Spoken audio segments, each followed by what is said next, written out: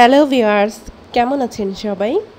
E commerce প্রতিষ্ঠান ই ভ্যালিতে বিনিয়োগ করবে না বলে সিদ্ধান্ত নিয়েছে শিল্প গোষ্ঠী যমুনা গ্রুপ যমুনা গ্রুপের পরিচালক marketing sales and operation Mohammad Alamgir Alam সোমবার তার ফেসবুক অ্যাকাউন্টে এক জরুরি গণবিজ্ঞপ্তির মাধ্যমে এই কথা বলেছেন।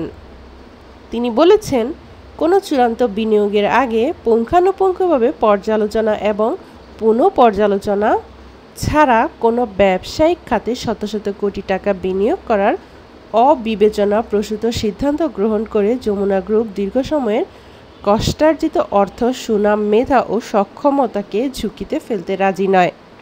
তিনি বলেন, এই গ্রুপ ব্যবসা পরিচালনায় উৎপাদনমুখী ও গঠনমূলক ব্যবসায়িক নীতিকে গুরুত্ব দেয়, যা দেশের শিল্প অবকাঠামোগত, ব্যাপক ভিত্তিক উন্নয়নের পাশাপাশি দীর্ঘমেয়াদে লাখ লাখ মানুষের প্রত্যক্ষ ও পরোক্ষভাবে কর্মসংস্থান সৃষ্টিতে ও জীবন জীবিকার সংস্থানে উল্লেখযোগ্য ভূমিকা রেখে আসছে।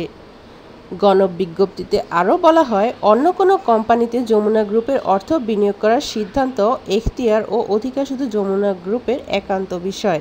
এটি কারও অনুরোধে ঢেকে গেলার বিষয় নয়। অন্য কোনো কোম্পানির অভ্যন্তরীণ বিষয়ে যমুনা গ্রুপ কোনো দায় অতীতে নেয়নি, ভবিষ্যতেও নেবে না। এর আগে গত সাতাশে আগস্ট আলমগীর আলম ফেসবুক পোস্টে জানিয়েছিলেন, যমুনা গ্রুপের উদ্যোগে ইভেলির নিরীক্ষা চলছে।